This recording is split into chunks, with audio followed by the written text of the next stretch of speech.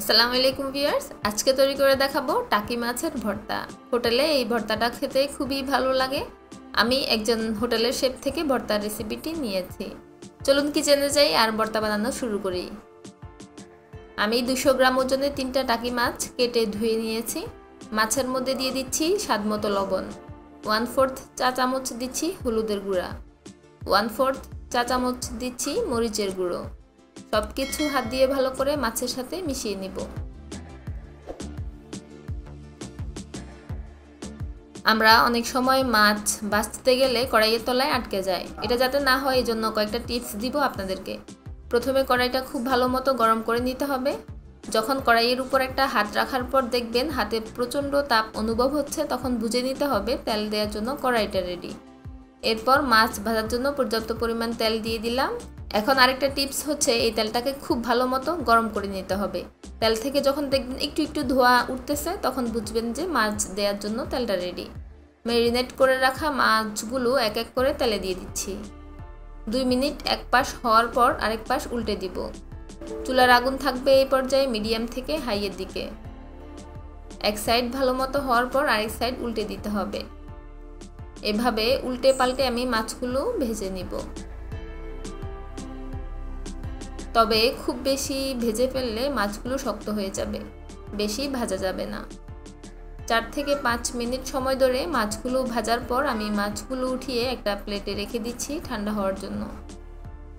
এই তেলের মধ্যে দিয়ে দিব আট থেকে দশটার মতো কাঁচা মরিচ কে কীরকম জাল খেতে পছন্দ করেন সেই অনুযায়ী মরিচটা দিয়ে নেবেন। চার পাঁচটা রসুনের কোয়া কুচি করে দিয়ে দিলাম। তিনটা মিডিয়াম সাইজের পেঁয়াজ স্লাইস করে দিলাম। এখন এই সব কিছু নরম হয়ে আসা পর্যন্ত ভেজে নিব।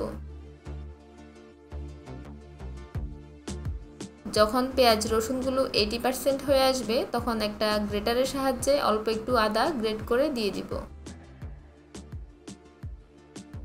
আপনারা এই কাজটা ছুরি বা বটি দিয়েও করতে পারেন। আদা দেওয়ার পর দুই মিনিট সব কিছু ভেজে নিব।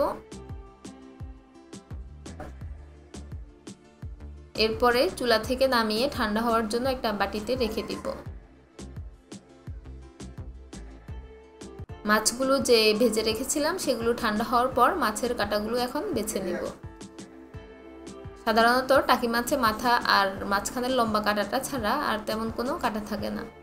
পেটের দিকটাতে অল্প একটু কাটা থাকে। আমি সবগুলো মাছের কাটা খুব ভালো মতো বেছে নিয়েছি। এখন পেঁয়াজ, রসুন থেকে মরিচগুলো আলাদা করে অল্প একটু লবণ দিয়ে মরিচগুলো হাত দিয়ে ভালো মতো ম্যাশ করে নিব।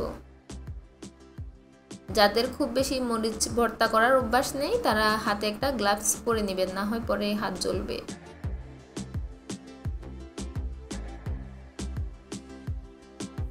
সব কিছু মরিচের সাথে মিশিয়ে নিয়ে ম্যাশ করে নিব।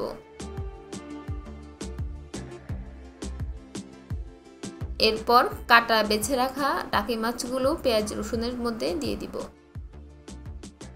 এর মধ্যে কিছু ধনে পাতা কুচি করে দিয়ে দিব। হাতের মধ্যে অল্প একটু সরিষার তেল নিয়ে সব কিছুর উপর দিয়ে দিব। এখন সব কিছু খুব ভালো মতো মাখিয়ে নিব। হাত দিয়ে ভালো করে মাখিয়ে নিলেই ভর্তাটা তৈরি হয়ে যায়। বাটাবাটির ঝামেলায় যেতে হয় না। তৈরি হয়ে গেল খুবই সুস্বাদু টাকি মাছের ভর্তা। গরম গরম ভাতের সাথে এই ভর্তাটা খেতে খুবই ভালো লাগে।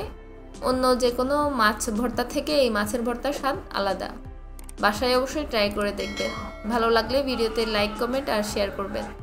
আজ বিদায় নিচ্ছি, দেখা হবে অন্য কোনো ভিডিওতে। আল্লাহ হাফেজ।